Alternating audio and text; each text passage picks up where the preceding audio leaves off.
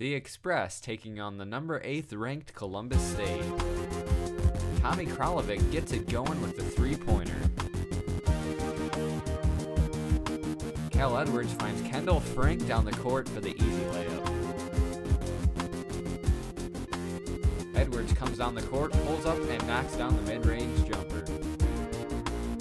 Jerron Jamerson drives and finishes off the glass. James Wimberly with a nice shot fake and drive to the hoop.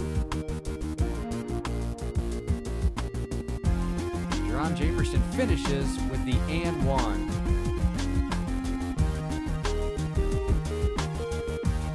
Derek Sandiford Jr. comes away with the steal and takes it all the way in for the tough layup. Cal Edwards finds his shot from the deep. He led the Express in this game 23 points on the day.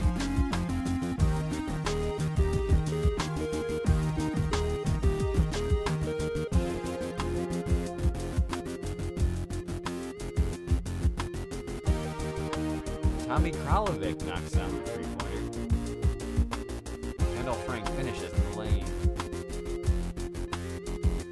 Andrew Scarton drains the three.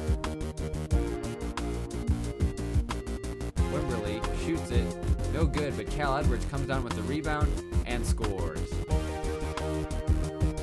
Craig Short pulls down the miss, and he scores.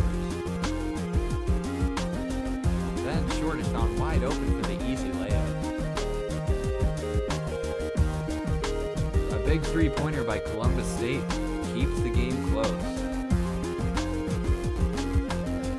And one final chance for Columbus State down one point. Shot is no good, and Owens pulls off the upset, 71 to 70, improving to 8 and 15 on the season.